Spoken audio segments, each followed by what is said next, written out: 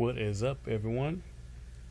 Tonight, I have my old Celestron 8SE out, and it's all mounted up on the AVX mount. It's a lot of weight on there tonight, and guiding looks terrible. Well, the numbers look terrible, but it's still guiding. But um, it's galaxy season. Moon is not as bright. We got two clear nights, so I'm going after some galaxies. So I'm going after the first one is this galaxy is right by the Big Dipper. It's called NGC 3184. Never got this galaxy before, but I'm trying it now. See what it looks like on a medium stretch. You can kind of see it right here. So we'll see how it turns out after all these frames and everything. Oops, I click on the wrong thing. So what I'm doing tonight is I'm doing roughly uh, five hours, almost six hours on this one galaxy because right around two o'clock in the morning, NGC four five six five, the Needle Galaxy, will be in view. So I'm gonna try that with the 8SE. I did this galaxy in the past with my um, 80, 80 millimeter refractor. It came out pretty pretty okay. But I'm gonna try with the 8SE. I mean, I know I don't have an autofocus, so I use my Bahtinov mask, and I got all my filters pretty much. They pretty much are all the same as far as focus.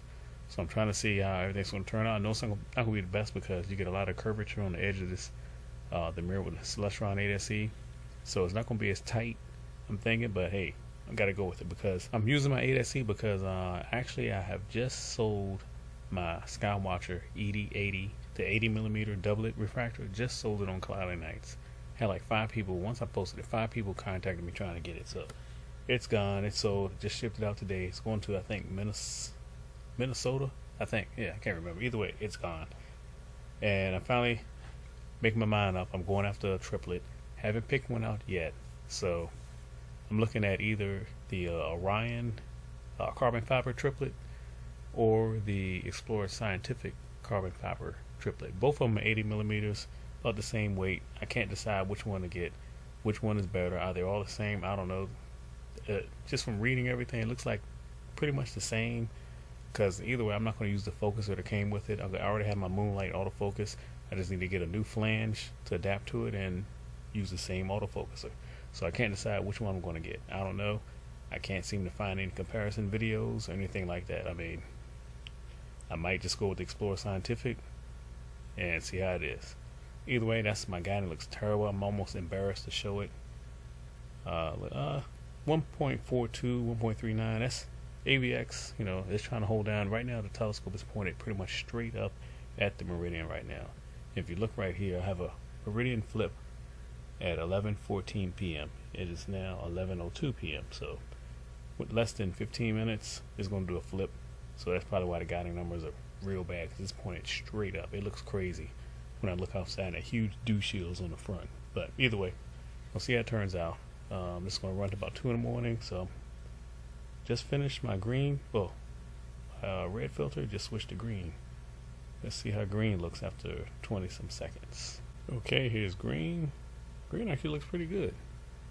I'll zoom in on it a little bit. Still kind of hard to see the galaxy in its arms. Hopefully everything comes out decent. But anyway, I'm getting ready to get to bed. It's 11.03. Actually, I'm going to wait till the meridian flip happens if everything's pretty much centered, I'm getting into bed. And around two, a little after two in the morning, uh, the automation should kick in and it should switch over to the Needle Galaxy. Hopefully, it clears my tree, well, my neighbor's tree in the backyard just enough where it gets get this targeted view. Keep your fingers crossed. All right. Also, just want to add that um that same night around 2:30 in the morning, the uh, telescope slew to the Needle Galaxy, and everything ran successfully for about. I only did about two, maybe two and a half hours of data on that one before it was like maybe 5:40 in the morning. So by that time, uh, the constellation is dipping down real low. But uh, did about two and a half hours, and this is how the Needle Galaxy came out. Right here, let me uh, just make it a little bigger. I'm going to put a picture of it in, in the video, so I'm not sure how it's going to look on just this laptop screen because I processed it on my main computer. But Actually, the A2C brought out more details than I expected. You know, to only be about two, two and a half hours of this galaxy. So it looks pretty good.